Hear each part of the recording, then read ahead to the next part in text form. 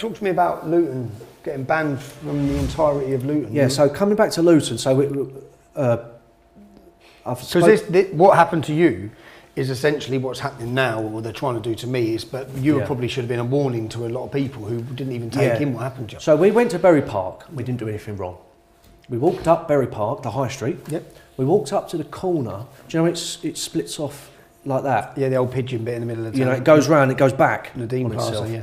Uh, and there's a big mosque round there. That's so we went up to there, and there wasn't much reaction, believe it or not. So we walked back. We was giving out leaflets with our big Christian crosses and all that, doing a Christian patrol, because Luton is jihadi central. Like you know yourself. That's what I was- Saiful Islam, it's just wall to wall, isn't it? Like you've got ginger converts down there, they're all in prison, Ibrahim. they're all serving, they're all serving uh, long sentences. So Bury Park is like jihadi central. Um, I think it's after Sparkbrook in Birmingham. It's the worst place in the country for jihadis. Uh, so we thought we- we've got to go there and show them who's boss. This is still our country after all. We're not going to let them rule any part of our country. So we went down there. So you imagine there's 15 of us. We had our mer- Britain First merchandise on. We had Christian crosses. We've given out leaflets. We marched up, but on the way back things changed because you know it takes them a while to, to figure out what's yeah. going on, to get their reinforcements out, and they come out of bloody everywhere. Uh, mercifully, it never kicked off, but it came that close. You can see from the footage I'm surprised. I really am surprised it didn't. Knowing Luton because we we weren't And knowing shrinking the- violets, were and we? knowing the lads that were there when I was watching it. yeah, and we weren't. We, we was given as good as we was getting. So it wasn't as if we was all you know we'd gone there, but now we're being passive. No, we was we was giving as much as we got. Like the abuse they gave us, we was giving back. Uh, and then the police turned up, and it ended up like hundred, of, about hundred of them versus. Did the 15. police make a statement saying they're not going to be arresting anyone for any of the Yeah. actions against you? People were throwing, throwing things at you. People were being aggressive, violent, violent. Some of the footage we captured was brilliant. Oh, yeah. And well, you know, sometimes we do this because we want to we want to show people this is the danger. This is what it's like. This is what it's like. Go to Luton. This is what it's like. So we went up to a shopkeeper, and he's got a grocery store with- surrounded by vegetables. He went, "What are you doing here? We've taken over this country. It's, It's our, our country, country, now. You might remember it. I remember it. And then there was a woman right at the end, a lady. Uh, she must have been in her early twenties. She came running up past the police, went, "The Muslims are going to take over. Watch."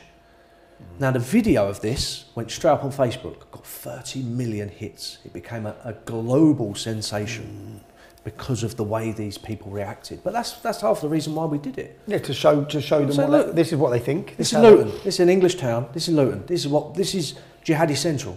There's people in this area like Saiful Islam, uh, but Bedfordshire Police, as you probably know, are one of the worst lefty police forces in the country. They're really bad, and they, They were really bad against me, really bad, up until 2015, and then they haven't given me any hassle. well, they came out and made an unprecedented statement. That's what my solicitor said. It's unprecedented for the police to say things like this. We're not going to enforce the law, basically. They, they put out a statement to calm the community, right? Talk about the Muslims in Bury Park, and they said, it doesn't matter what any of you have done, we are not going to prosecute any of you. yeah, yeah, that's what they said. So they could have been That's waving actually what they knives, said, and that's machetes. because yeah, you got punched through the car window as well in Luton. Like uh, that, that was in the run-up. Yeah, in the run-up. He didn't Yeah, get he, he didn't get charged either. No. right? So I, I was I was in Bury Park, and I drove. You They can- literally get what you they drive up the hill to Dunstable. Yeah. So I was driving up there, and a, a Muslim car was behind me, erratic, telling me to pull over. So I pulled over. You know, um, it's just up the road from where Saiful Islam came up to you when you had a journalist Yeah, yeah. and Yeah, punched you in the mouth. He never got arrested. No. Well, this guy, he was a big fat Muslim. He'd already chucked beer cans at me back in Bury Park. So I stopped my car. I said, "What are you going to do?"